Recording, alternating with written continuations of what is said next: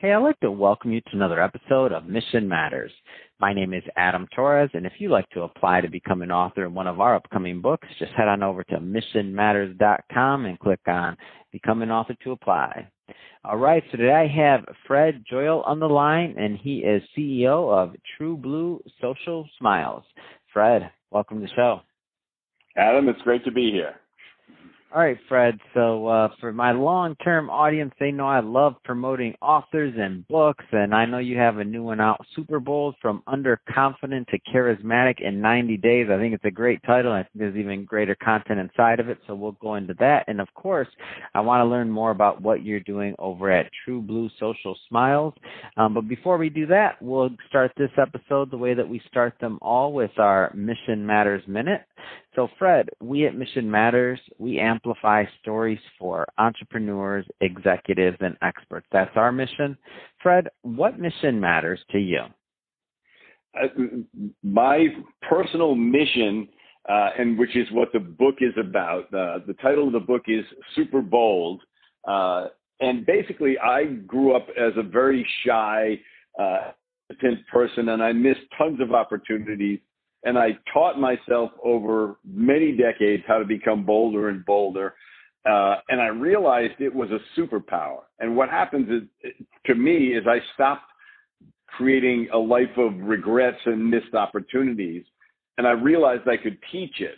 And so I'm very passionate about helping people to be bold when it matters and it's and to understand that they can learn it. And I want to impact as many people to live bold lives so that they make a difference in their lives and a difference in the world. And my new company, uh, uh, TruBlu Social Smiles, streamlines the process of eliciting video testimonials from your customers and then allowing you to take full advantage of them online in every possible media. Uh, it's the most powerful marketing tool ever created. The the customer testimonial. And I'm doing it for all of healthcare. Um, but it's hard to get those things done, but they make it, they're incredibly persuasive and believable because they're so authentic. So I'm, I have two passions in my life, the business and, and the book, Superbold. So that's, the, I, I got two things driving me right now, Adam. That's awesome. Uh, love to bring mission-based individuals on the line to share why they do what they do, how they're doing it, and really what we can all learn and gain from that together. So we all we all grow together. So great having you on. And uh, I guess just to get us kicked off, so tell tell us more about the book. So Superbold from underconfident to charismatic in 90 days. Like what was the inspiration? Uh, you know, I started to see bold people doing things and and and enjoying their lives and meeting who they wanted to meet. And that's you know from a business standpoint, your ability to meet anybody you want is almost the difference between success and failure because so much of what you do is uh, uh involves the connections you make or your ability to attract money, attract an investor, attract a customer. Uh, and and to attract great employees and to empower those employees, take risks, uh, and and also in your personal life to to find the person you want to be with, to find the friends you want to be with, uh, takes boldness, and it's it's a life skill. And but people think you're either born with it or not, and you can develop it. Because I did. I I I'm at a point now where I can walk onto a stage and the 5,000 people in the audience, and I can't wait to get out there. And, and I can literally meet anybody I want. I can walk up to anybody. It, it could be, uh, you know, uh, Arnold Schwarzenegger, or it could be uh, George Bush, or or Obama, or or anybody, and I can walk up and have a, a conversation with them. And I can, you know, and if it's a a person, a business person I want to meet, I've met, you know, I know at this point in my life five or six billionaires that I've had the, the pleasure of having a normal conversation with. Uh, from from Tony Robbins to Tony Hsieh, uh, the former uh, CEO of, Zappos. I want people to know that you can learn it, and I teach a systematic way for you to do it. step by step to build your boldness muscle so that you're bold when it matters most so that you you you know you can summon it. Even if you don't feel confident you can summon your boldness to step up to speak up to take that risk to take that opportunity so you don't have a life where you stacked up the regrets so I, I know that some people, I guess you'd say, could think about but when they think of the word bold, um, they might think, you know, aggressive or salesy or like all these negative maybe connotations that don't necessarily apply. I think a lot of times the idea of being bold and going up and doing some of the things you said kind of gets the wrong rap of like uh, culturally because they feel like, you know, being bold, like, do I want to be? Can I be? Like, ah, that's just not me. Like, can you dispel maybe some of that myth of, of that negative negative connotation to being bold. And can you just maybe elaborate on the type of boldness that you're talking about? Yeah, it's not about being a show off. It's or or craving yeah. attention.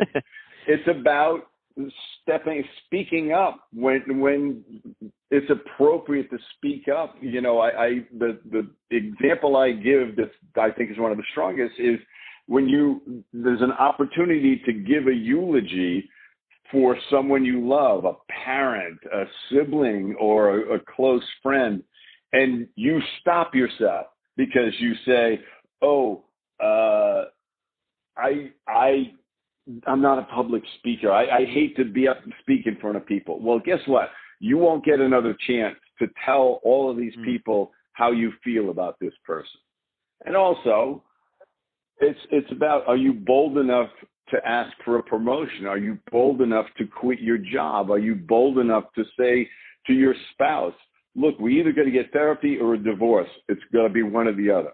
Where we can't go on like this. That other people are afraid to speak up. They hesitate because of their of what's going to happen. And what happens is they things stay the same or get worse, or they miss an opportunity.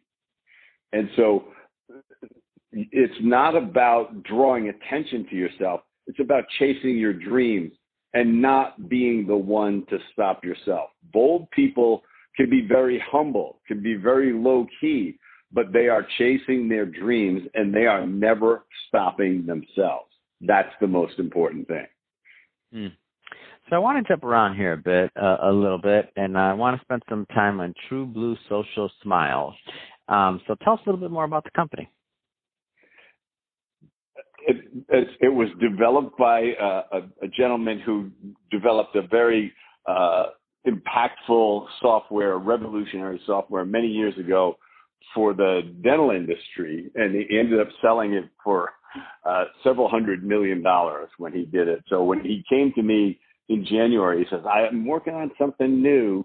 Uh, he says because you you talk about because I I do a, I I come from a marketing background. I've written a couple of marketing books for the dental industry because that was my previous life. As I was the founder and CEO of One Eight Hundred Dentist, um, and so I'm I'm kind of known in the dental industry as the marketing guy. And I'm always telling dentists you need to get video testimonials from your patients. And it's a challenge to do that in any business. And it's because people hesitate. They don't know how to do it. They don't know how to get people to do it on their phone, and then they don't know what to do with the video. So mm-hmm. what my friend Sam developed is this software that streamlines the whole process, makes it easy for the for the patient or the customer to do the video. But what it does is it embeds your logo into the video and a call to action. So if they post it on their social media, they can that person who watches the video, which is very persuasive, they can find your business. And then the other really important part is the business now owns the video. The patient has agreed to give that video to the business. So now the business can use it on their website, in their social media, in their ads, in their Google and Yelp profiles. It is a very versatile marketing tool, and this software allows somebody to take advantage of it. We reduce almost all of the friction in the whole process. So it's as easy as possible to maximize the benefits of a video testimonial. Yeah, I think it's great, and uh, I'm a big fan of video testimonials in general. I just see what they work, and and what I think is interesting is that you know, especially a lot for a lot of business owners out there, even though they know they should be, you know, getting them, um, you know, there's always this maybe thought process of maybe it doesn't always apply to them or this or that. But the funny part is, is I always like to turn that question back at them, especially people that say, ah, video, you know, they don't necessarily understand it. I'm like, cause I, I, I like to take people through their own buying journey, and I'm like, when's the last time you bought something because of video? Do you think you're the only one that has that like affinity for it, or that you're the the only one smart enough to be like, let me watch some videos on this person that the whole world is doing something different. No, that's how we buy. So to neglect that or to, to think that video is um, that you can afford to be without video. I mean, I mean, maybe you can, maybe you've been practiced long enough or been doing it long enough, but I tell you what, the, the person that does get it right, um, they're going to be gaining ground on you because I sure like to buy from video, and I think many of the other people that are that are maybe a little slow in video or buying from video too. What do you think, Fred? it, it's so persuasive because it's authentic. It's yeah, it's a person saying, "I," you know, you can't force somebody to say, "I really love this business. I wouldn't go anywhere else. This changed my whole viewpoint about this particular product, whatever." Uh, I looked at a whole bunch of other things, and and this was my choice. Mm-hmm. They are actively willing to say something positive about the business in one take. It's not produced, it's not edited, it's not elicited except that you ask them to do it, right? So mm-hmm. that's why it's so believable because yeah. it, it's it, you know anything else can be edited. You know, these highly produced videos that people do, you say, yeah, yeah, of course you're going to say nice stuff about yourself.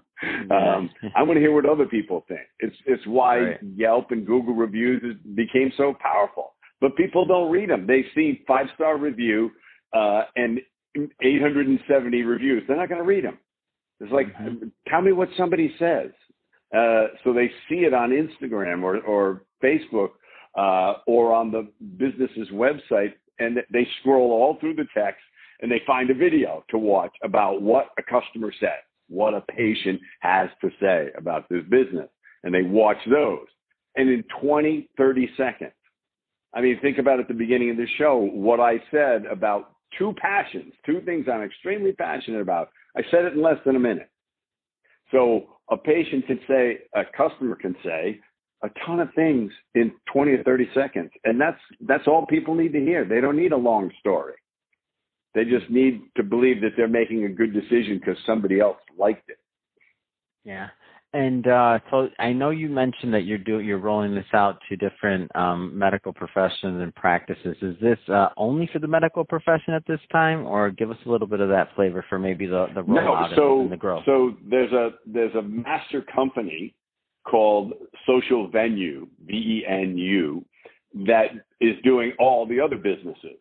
I'm doing healthcare. I have the exclusive license for healthcare.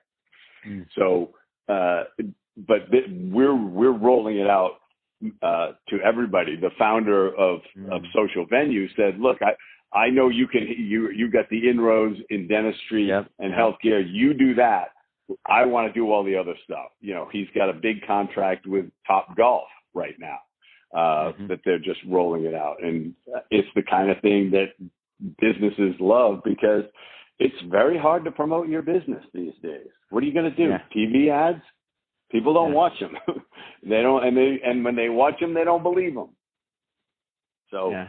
Uh, you need a new you need this is the the cutting edge of marketing and it's going to it's going to change how brands work and how brands promote themselves.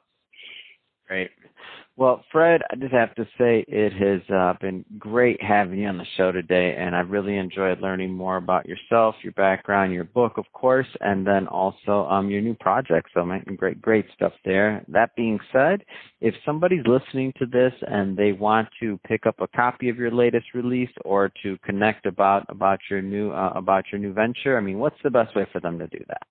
The best way is always right straight to my website, fredjoyal.com uh, you can request a conversation with me. You and and the books are uh, available on Amazon in hardcover and in Kindle and in Audible, and it's me reading Audible. So that's that's the easiest way to get the book. But my website's the easiest way to find me, and you can always, you know, track an email down or request a 30 minute conversation with me. Awesome. Um, and we'll be sure to put those links in the show notes so that our audience can just click on the on the link and head right on over. And speaking of the audience, if this is the first time you've turned into a Mission Matters or tuned into a Mission Matters episode or engaged with the platform, we're all about bringing on business owners, entrepreneurs, and executives and having them share their mission, their expertise, what we can all learn from it, so that we can all grow together. If that's the type of content that sounds interesting or fun to you, hit that subscribe button because we have many more mission based individuals coming up on the line and we don't want you to miss a thing. And Fred, really, it has been a pleasure. Thanks again for making time to come on the show. Appreciate it. Thank you, Adam. It's been a pleasure on my side as well.